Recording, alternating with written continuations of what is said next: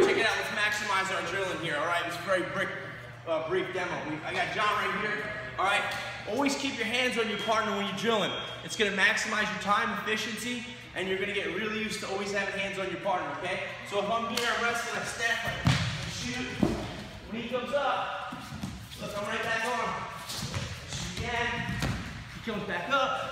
All right, I'm still on. Now use a, a different setup. From here. Comes up, look. My hands are always on. Stay on your opponent. It'll keep that warrior mindset of moving forward.